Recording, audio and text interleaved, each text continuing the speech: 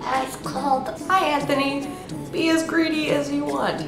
Get your money's worth. So thank you a billion times for donating to the Indiegogo that got me and Connor to College of Wizardry. I cannot wait to make a whole bunch of videos for you to watch so you can live vicariously through me and go on Hogwarts adventures. Your questions for me. Do you still do tabletop RPG? And if so, can we hear a little more of that nerdy hobby?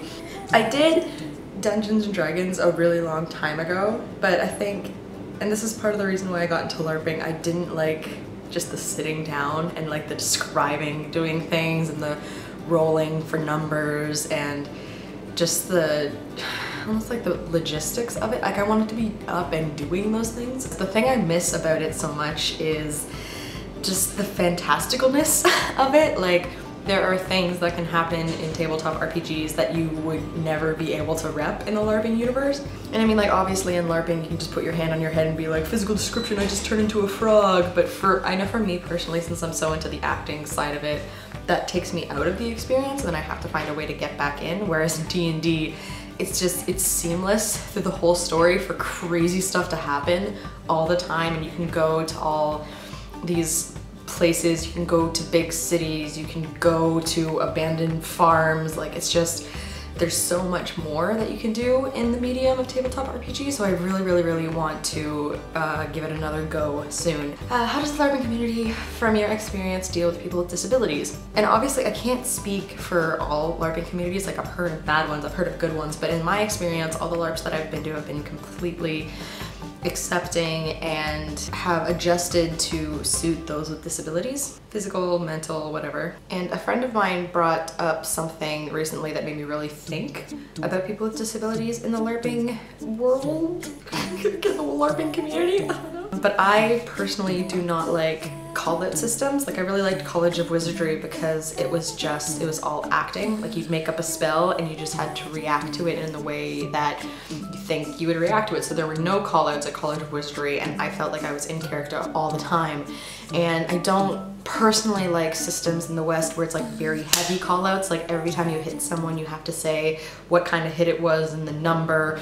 And like, I blink out of existence, one, two, three. Like I, I just want people to like I prefer LARP systems where people just act it out and just use their imagination almost and like a trust-based system.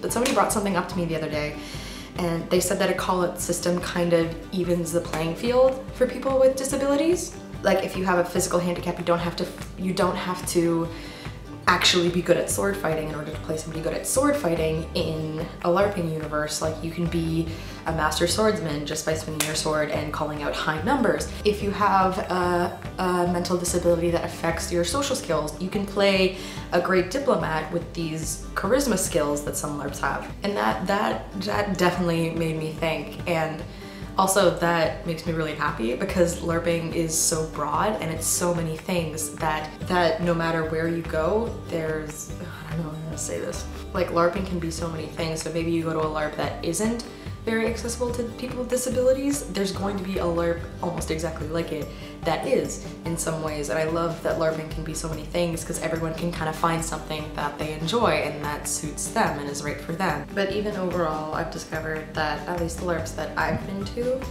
people are very understanding and adaptable for those with disabilities. If you come across a LARP that isn't, not only is it probably a bad LARP, they're probably bad people, but you can find another and it will be good. So you say you have trouble uh, walking, so you might not be good at a battle LARP. Um, Dylan, my buddy who plays Caswell in the Reaver Rapscallions, has um, a condition where he has to walk with a cane a lot of the times, and it's very painful for him to do physical activity a lot of times, but he still is an avid LARPer, and he's been to Bicolline, and he loves it so much. And I think that's why he enjoys the LARPs with the heavy callout system, because it sort of helps him along as well. Have you ever run or helped organize a LARP? I do all the videos for my main post-apocalyptic LARP. Um, other than that, there's a video on my main channel of me running like an experimental Nordic style LARP, which is like, it's the first LARP that I've written and the first LARP that I ran.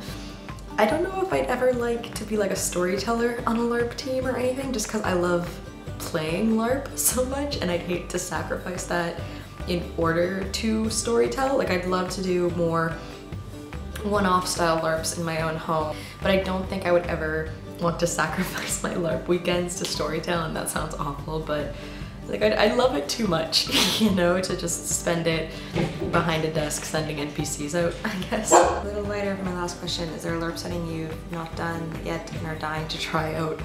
Oh, oh, let me tell you, I want to do a Star Wars LARP so bad. I just want to be a cute Jedi girl with a pink lightsaber so bad. I really want to do it. Also, I want to try Hinterland, which is um, a very roleplay heavy LARP in Europe where they use actual weapons. It's It sounds really scary, but there's no combat. It's all just intimidation. So it's a post-apocalyptic LARP where people like can steal each other's foods and blankets and it's it's it's pretty rough, it's pretty scary. So I think I'd like to have Connor with me for that one as well. But like if somebody shows up with you to you um, with a knife and they're like, er, and you don't have a knife and you're like, oh, okay, you can have my food because you would hypothetically win in this situation. It's all acting and intimidation and I jump at any opportunity to feel fear in LARP apparently, which is weird because I don't like horror movies. I've never thought about that before. Hmm. Thank you again, Anthony, for donating to the Indiegogo. I appreciate it a lot and I can't wait to make videos for you. Bye!